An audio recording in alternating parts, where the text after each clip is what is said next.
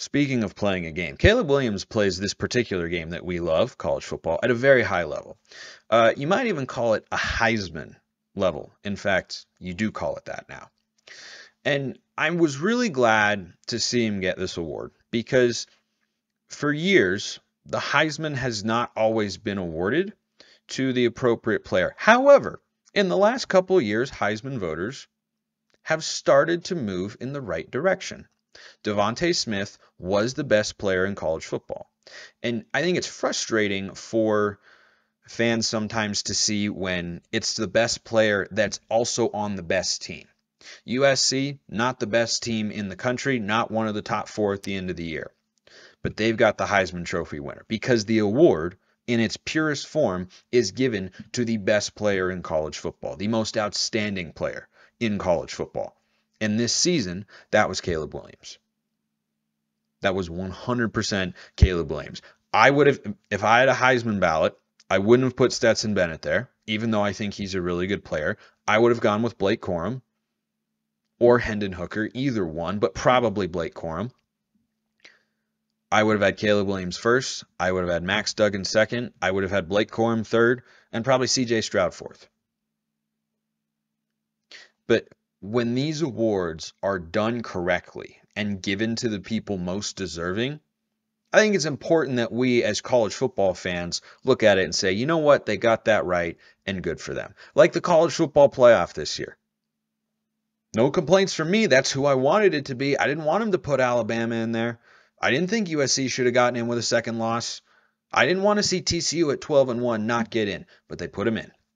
And they should have, and they did and they got the four teams who have earned it the most. So when those sorts of things happen, because it's so easy to, you know, go on Twitter and criticize and say this is wrong or this isn't right or when things are not right, I certainly call them out. I call it as I see it here on the show. I, I trust you all know that for those of you that have been listening to me for a while. But giving this award to Caleb Williams is not what they it feels like they would have done in some years. And I think it helped tremendously that Caleb Williams was on USC because that's a much bigger brand than say Stanford, but it was eerily reminiscent of that Heisman race. You had a guy whose team was in the playoff in the national championship hunt who deserved to be a Heisman finalist in Derrick Henry, but the best player in college football that year was Christian McCaffrey. But he plays out on the West Coast. And he played a lot of games late at night. Not as many people watched him. And so he finished second when he should not have. It is the greatest Heisman snub in the history of Heisman snubs. And had Caleb Williams not won this award, it would have been another snubbery, which is a word that I might have just made up five seconds ago. Williams was so good. And I talked about it on this show really all season long as it progressed. It's like, man, Caleb Williams is ridiculous, but also they are so reliant on him to do the spectacular.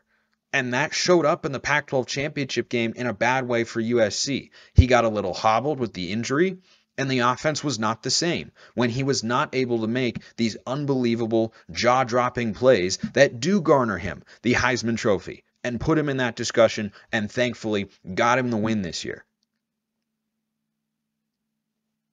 But that's why, to me, he was the Heisman Trophy winner because of what that Pac 12 championship game looked like, how important he was. He was not at 100% in that game, and still had his team in contention for a while, got away from him late.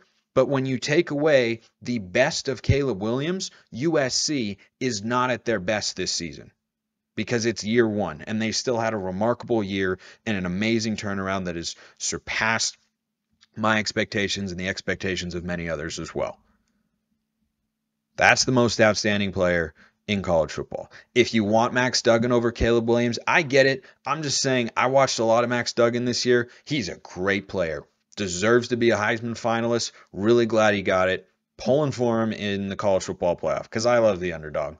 I TCU is the underdog of those four. They're not a big brand. They're the Cinderella story, the comeback kids who just keep finding a way to win games. But Williams was the most spectacular. He deserved to win. I'm glad he did. They got it right. Props to you, Heisman voters. I don't always think you get it right. It's one particular instance that I already talked about where you got it very, very wrong. But sometimes they get it right, and I think it's fair to point point out that that that is that that's what's happened this year. So the Pac-12 has got its first Heisman Trophy in I think eight years was eight years. Yeah, 20. Yeah, I'm really amazing at math. Uh, Mariota was the last uh, Pac-12 Heisman winner.